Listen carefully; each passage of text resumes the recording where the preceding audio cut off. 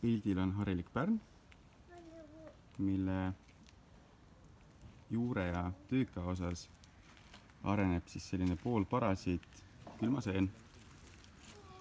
ja tema kahjustus on ka nüüd siin väga hästi näha, et äh, üks agressiivsemaid seeni, mis äh, levib siis igas vanuses puule juurkontakti kaudu,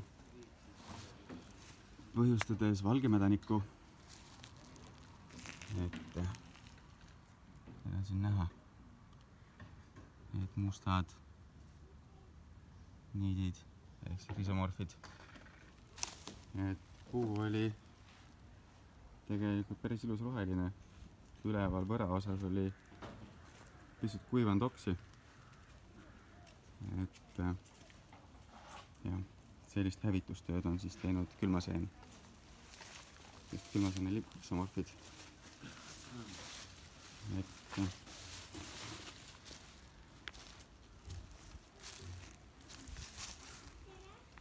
nii palju siis on sellest puust järgi jäänud